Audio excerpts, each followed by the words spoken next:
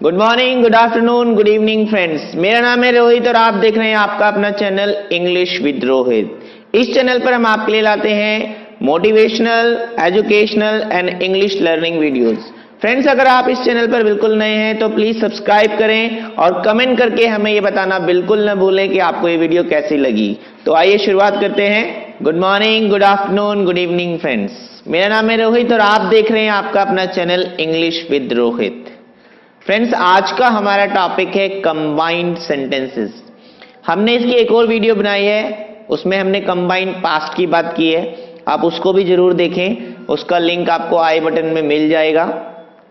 और आज हम बात करेंगे कंबाइंड फ्यूचर की, ठीक है? तो चलिए शुरू करते हैं।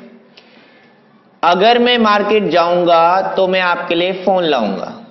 इसमें भी दो सेंटेंस है। जैसे कि हमने डबल पास्ट में कंबाइंड पास्ट में बात की थी कि हमारे सेंटेंस डबल मिलेंगे आपको। अगर मैं मार्केट जाऊँगा, एक बात ये हो गई तो मैं आपके लिए एक फ़ोन लाऊँगा, दूसरी बात ये हो गई। तो हमें करना क्या है? हमें सेंटेंस को पहले छांटना है, उसको दो टुकड़े में बांटना है। जो इनकम्प्लीट सेंटेंस है, जो अधूरा वाक्य है, जहाँ पर हमारी बात कंप्लीट नहीं होती है, उसको अलग कर लो। और मैं आपके लिए एक फ़ोन लाऊँगा, जो कंप्लीट सेंटेंस है, उसको अलग कर लीजिए।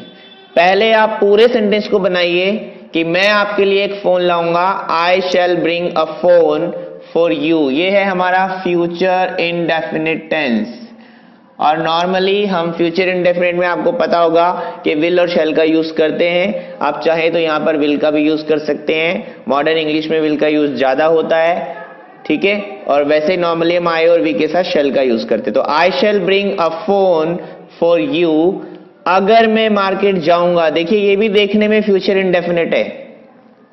लेकिन जब आप इस टेंस को बनाएँगे कंबाइंड फ्यूचर को तो आपको ध्यान रखना है कि जो इनकम्प्लीट सेंटेंस है, उसको आपको प्रेजेंट इनडेफिनेट से बनाना है। यानी कि सब्जेक्ट प्लस वर्ब की first form plus S E S plus object ये हमारा प्रेजेंट इनडेफिनेट का सिंपल रूल होता है। अगर आपका सेंटेंस सिंपल है तो आप ये फॉर्मूला लगाएँगे। अगर नेगेटिव होता है तो डू डज नॉट का भी प्रयोग करेंगे, ठीक है?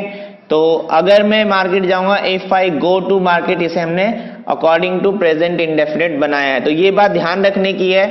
यहीं पर स्टूडेंट से गलती होती है कि उसको दो बार यहाँ पर गागेगी दिखता है और वो दोनों सेंटेंस को फ्यूचर में बना देता है।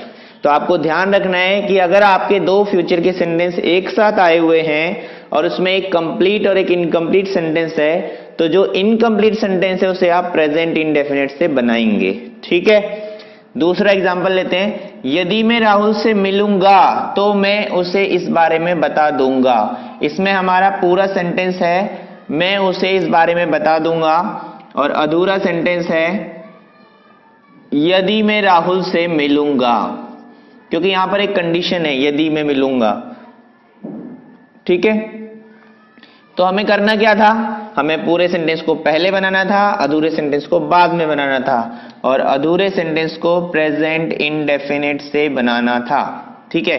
तो हम बनाते हैं, मैं उसे इस बारे में बता दूँगा। I shall tell him about this if I meet Rahul यदि मैं राहुल से मिलूँगा इफ़ आई मीट राहुल ठीक है? ये भी हमने प्रेजेंट इंडेफिनेट का रूल ही लगाया है। इस बात का ध्यान रखना। ठीक है?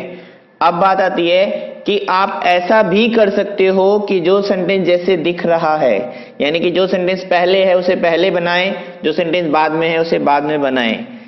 आप ऐसा कर सकते हैं, कोई बाउंडेशन नहीं है। यदि मैं राहुल से मिलूँगा इफ़ आई मीट राहुल, मैं उसे इस बारे में बता दूँगा I shall tell him about this लेकिन इस बात में एक बात का ध्यान रखना कि जब आप अधूरा सेंटेंस पहले बनाएँगे तो बीच में आपको तो शब्द के लिए एक कॉमा लगाना पड़ेगा। और बोलते समय वहाँ पर पॉज देना पड़ेगा।